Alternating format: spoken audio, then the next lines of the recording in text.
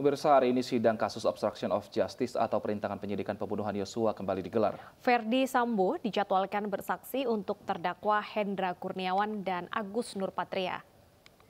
Jaksa penuntut umum hari ini akan menghadirkan tiga orang saksi, yakni Ferdi Sambo, Arif Rahman, dan ahli digital forensik dari Puslat 4 Polri bernama Adi Setia.